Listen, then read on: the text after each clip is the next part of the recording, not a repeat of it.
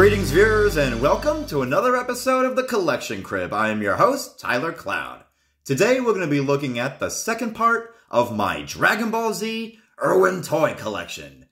Now, if you've seen the first part of my Irwin toy collection, I pretty much covered the Saiyan Saga and the Frieza Saga toys, which were the 5-inch figures, the blasters, and the striking figure. Well, it was only Piccolo, but he didn't have his board. But here's the board. We're going to test this guy out on one of the other striking toys today. But in this episode, we're going to cover the series 4, 5, and 6 of the Irwin toy collection and talk about some of the other accessories it came with. And, well, first of all, let me just go on and say the first series was mainly collectibles. They were the ones I scooped up mainly just to, you know, have them. These were the ones that I first collected as a child early teenager. As we start off Series 4, we got Goku. So let us look at Goku. Holy crap, it took us this long to get a 5-inch figure of Goku. Even though he represents the Android Saga, his um, his attire is not exactly correct. He shouldn't have his um, King Kai logo. I believe that's the King Kai logo. Um, leave a comment down below if I'm wrong on that, but if it's during the Android saga, he shouldn't have that uh, logo. But other other than that, Goku is shiny. He looks ready for action. He is pissed off. He looks like he's doing like the I don't know the Wolf Fang pose or something. Kind of inter interesting pose for Goku, but hey, I mean, finally, we finally got a Goku. We got Goku, people. We finally got Goku. Goku is amazing. One of the best uh, looking Gokus in this collection, but whew, that's saying a lot because there's a lot of Gokus after this. I think after they heard after the first three series of figures, they were like, "All right, we got, we need Goku. We gotta make as many Gokus as we can." Oh no, 18. I'm sorry. Oh my god, I'm sorry, everybody. Okay, we're gonna have to fix this. Let's bring in the androids together.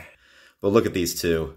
Badass they are in their late teens, I believe. They were hunted down and created by Dr. Gero. And they just look like normal late teenagers. But, oh boy, you mess with them, they will break you in half. Let me see. Let's uh, look at 17 really quick. And 17 will be making a return in this uh, multi-parter Irwin Toy Collection episode. And you'll see in the future. But here, He's just a standalone figure with a torn little tear there in his pants. His orange scarf, red ribbon logo, staring to kill.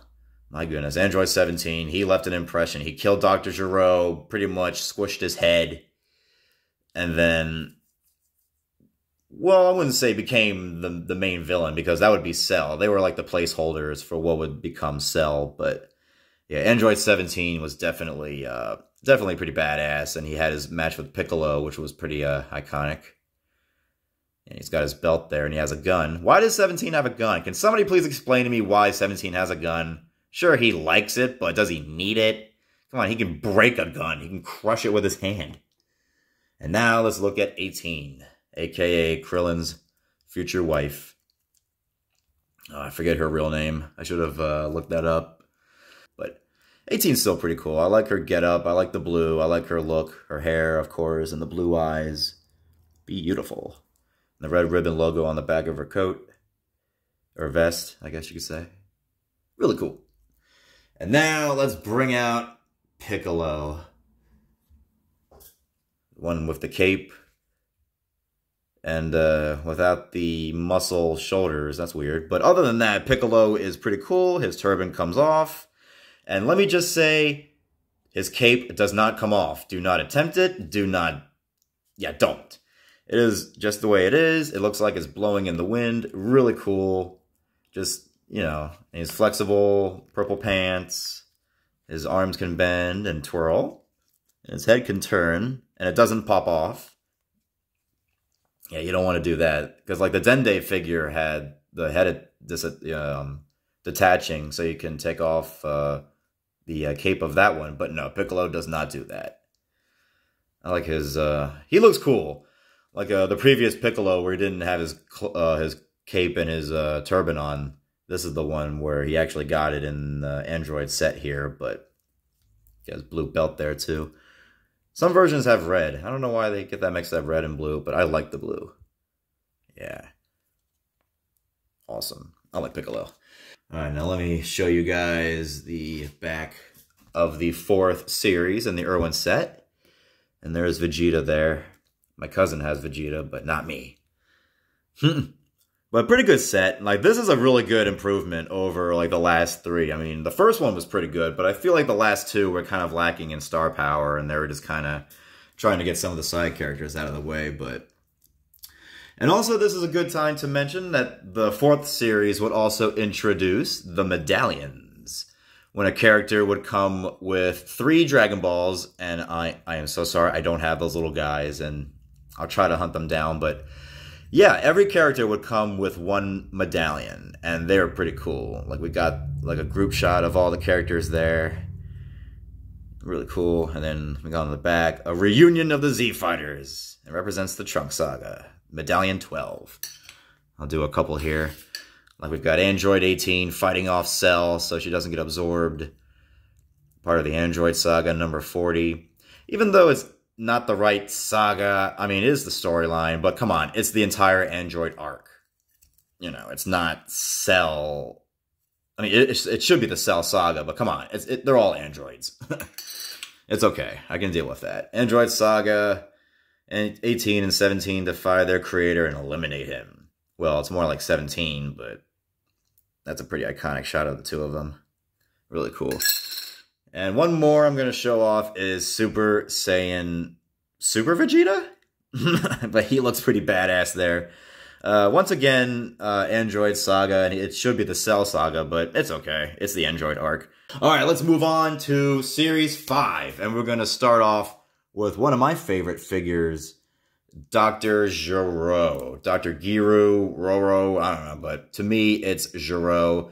It's pronounced how it is in the show, and that's how I'm going to stick to it. Dr. Gero, brown pants, he can bend his legs. He's got puffy arms that don't, you know, art, you know, go articulate all the way, just like Piccolo or any other guys. But other than that, he's got his little energy absorbing hand there. Almost looks like an eyeballs in his hand. He's like watching. But I should have done that. Dr. Gero should have had like an eyeball there, but eh, maybe I'm just overthinking. He's got his long white hair, and of course he's got the brain. The brain. The brain is inside Dr. Gero. The real brain of Dr. Gero is inside the android. I think 19 took out Dr. Gero's brain and put it in the android. It's a long story, but and here's his um, head cylinder. I guess his hat. Yeah, just be a little careful. If you get the new toy, just be very gentle how you put it on. Yeah. Just want to give it a little. There we go. Whoop. There we go. Dr. Gero, the creator of all the androids, the catalyst for the entire android cell arc. Hey, he's weak as hell, but just like Raditz, what can you say? There's nothing without them. All right, moving on. We got Vegeta. Super Saiyan Vegeta. Power level is just what he wanted it to be. The best in the world. In the whole universe. Higher than Kakarot. That's all that mattered. And then he got his butt kicked by 18. But regardless, Vegeta here looks amazing. The plastic is spectacular. He is articulated. He is movable. He is playable. His hair is spiky. And I call it the mustard hair. I don't know why. but look at that face. He is pissed off. His eyes are, well, his eyes are okay. That's pretty good shot there of Vegeta. The only Vegeta I have of the uh, original um, uh, six series, I don't have any of the other Vegetas except for one that's coming up in the Buu saga. But Vegeta Super Saiyan is awesome to have in your collection because, come on, you got to have Vegeta in your collection. Who doesn't? All right, next we've got Gohan, Super Saiyan Piccoloed cape wearing Gohan with the uh, blue wristbands and the blue belt, purple pants, just like Piccolo, and his cape a little bit more, a lot flexible than Piccolo's. Piccolo's is a lot more stiff, while Gohan's is a little bit more, uh, you know, um, flexible. But once again, the armor, or excuse me, not the armor, the cloak or the cape, while while it doesn't come off, it actually shakes. Like a little, like a little jingle there. Kind of weird, but yeah, don't take his head off. Gohan is, you know, amazing, and actually, he is the second Gohan that I have in my collection. We're going to move on to other Gohans in the Buu saga, but this is the Gohan that would defeat Cell, even though he's not Super Saiyan 2. But, you know, this is the age, the timeline Gohan that would defeat Cell. Really cool figure. And last in the Series 5 that I'm going to talk about is Super Saiyan Goku. Now we're getting somewhere. Now Irwin heard us. Now they're giving us some Goku toys. Goku Super Saiyan.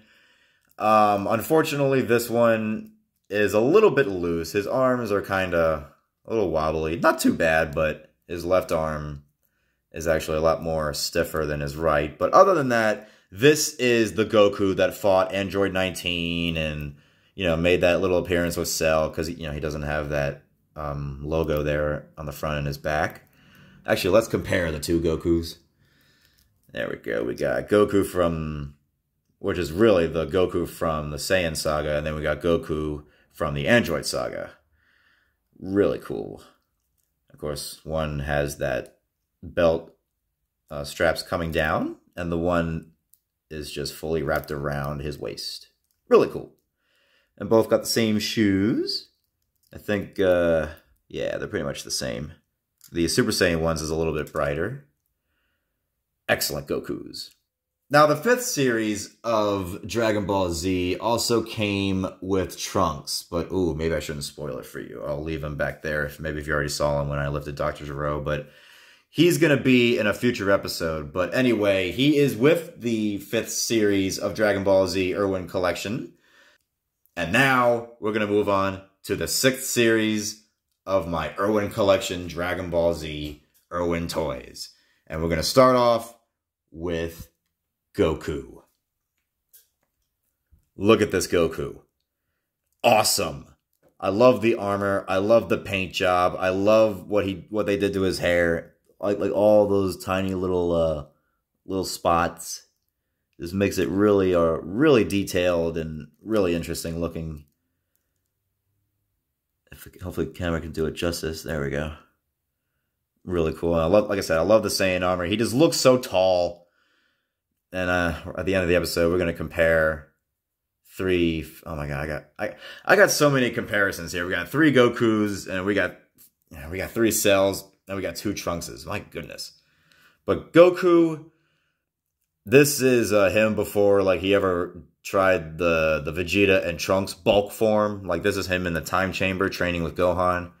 They should have did a should have been like a double set with Goku and Gohan both wearing the Saiyan armor and training in the time chamber. That would have been cool. But yeah, I love this Goku. He just looks badass. I love the armor. The paint job is fantastic. He's has both fists, and he's just ready for action, man. He just looks like you piss him off, he will tear you apart. Oop, let me put this one back. Don't want that to fall. There we go. All right, up next in the sixth series is Android 16, otherwise known as Arnold Schwarzenegger. I love the green. I love the red ribbon logo that's like on the left side of his chest there. And look at that. That stare is like either hilarious or intimidating. You be the judge. But Android 16, standing tall and proud, loves life, loves animals. But if you cross him, he will shoot off his arm. Shoot it in your face and then we'll give you a world of hurt. Android 16 is cool, even though I'm a little confused though. Like, I like the attachment that they did here. Like, this is pretty spot on, but why couldn't they have done it into a fist? Like, I feel like if they wanted to do the rocket punch, they should have done the rocket punch. You know, the other arm doesn't attach like the left arm does, but it should have been a fist. Like if you wanted to grab something, it'd be a little hard if this thing's gonna, you know, come off and on all the time. But other than that, the uh, orange uh, mohawk. Oh, I can go on and on about 16, but he is really cool. My, my, possibly my favorite android next to uh, the one I'm about to talk about next. But flexible on the legs, can bend his arms, and he can also turn his head only to the point to where his um, armor will allow him. But yeah, really tall. Not as tall as Berta, but awesome figure. Awesome android. And speaking of androids, we come to my favorite android, Android 19. Android 19 has that same similar uh, clothing style and energy absorbing model as Dr. Gero does. And I don't know what to say about 19. He's he's funny looking, but he's awesome. He was the one who unceremoniously defeated Goku. I mean, he had him right there. And then Vegeta had to come in and ruin the whole thing. Is uh, this is a actually this is one of the uh, older models that I've saved throughout the years. Um, everybody else is probably for the most part, you know, a rebuy because the ones I had when I was a kid, they were either you know aged or destroyed the time. But but Android 19, not much to say about him. His legs don't really move as much as the other guys. Like his knees don't bend, but his legs move. His arms can you know, twir uh, can twirl on both ends and up and down. And I will absorb all of your energy. I love Android 19. My favorite Android of the entire series until You Know Who comes in. And that You Know Who.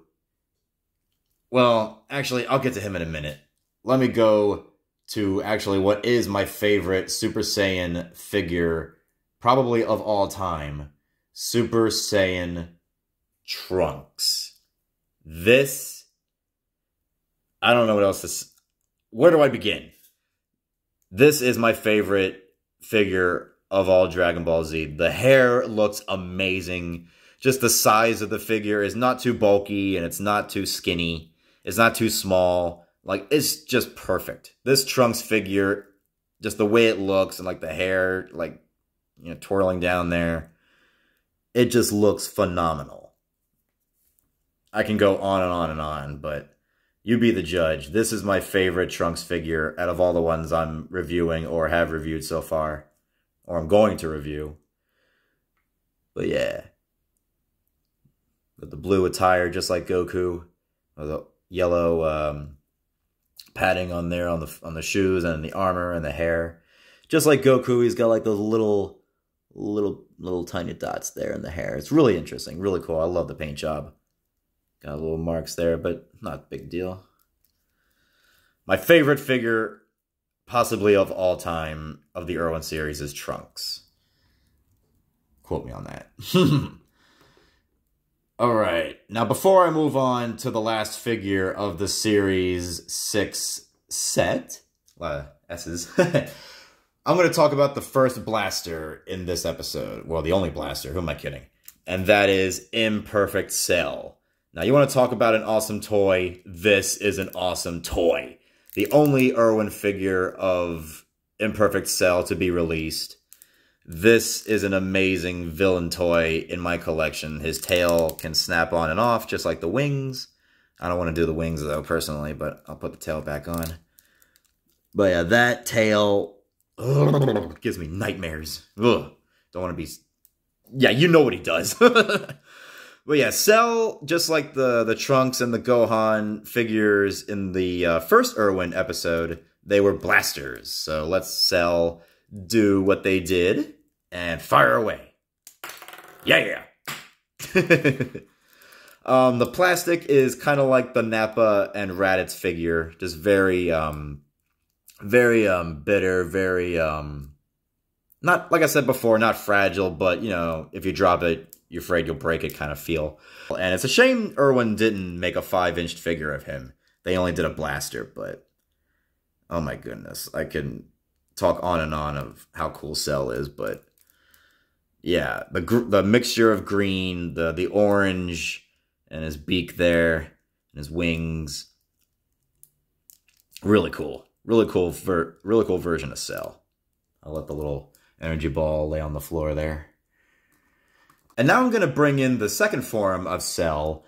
And let me just say, this is not an Irwin toy. This is the Jakks Pacific of Dragon Ball Z toys. When Jakks bought Irwin in 2003, this is when they started releasing their own set of toys. And second form Cell, I mean, come on, I just had to include him. He's not Irwin. I know I'm kind of breaking the rules, but I mean, look at him. He's awesome looking. First form and third form combine into one is what second form cell looks like. It's a semi-perfect cell with his long tail and it's very bendable. It's like a there's like a like a paper clip in there. You can only bend it in so many directions, but yeah, I just I love the tail. I love the second form cell.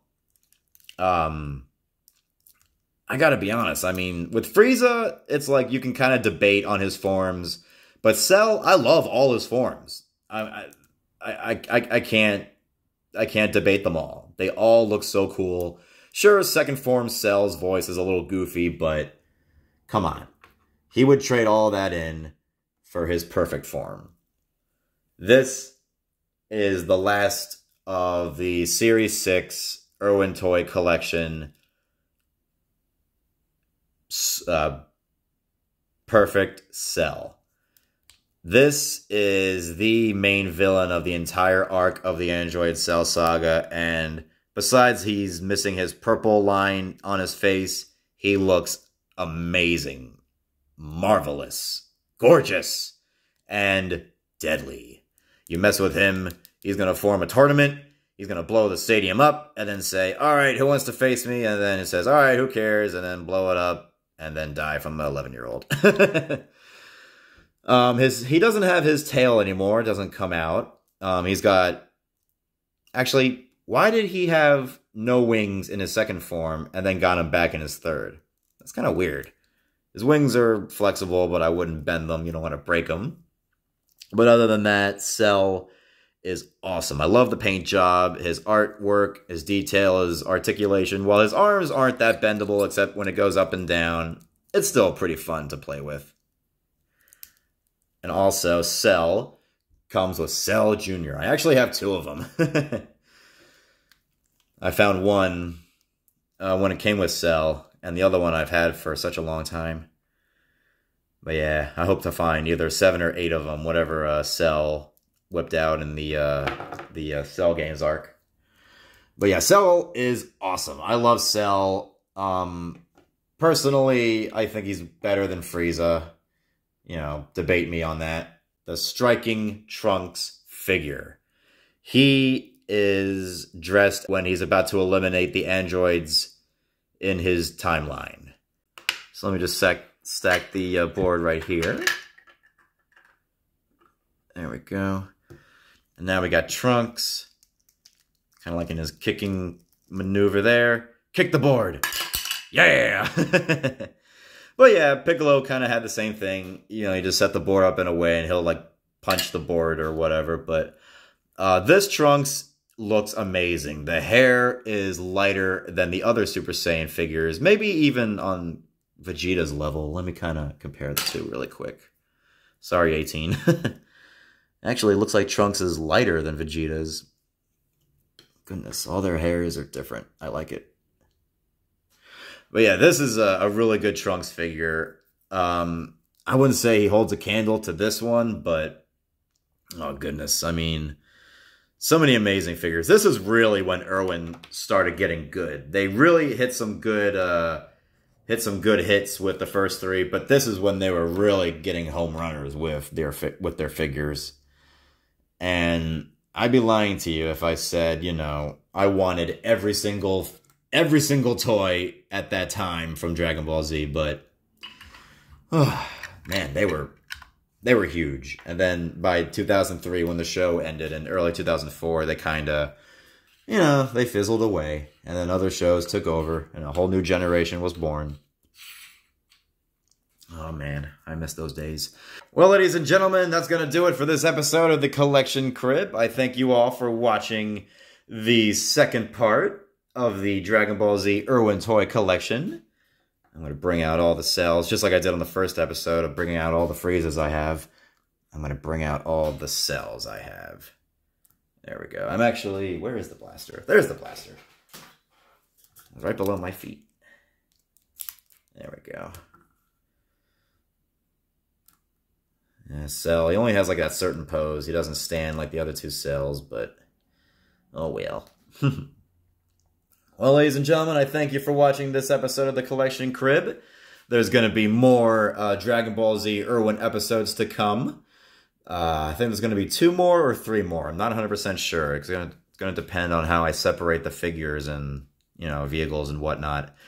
But uh, like and subscribe, and I will see you all next time.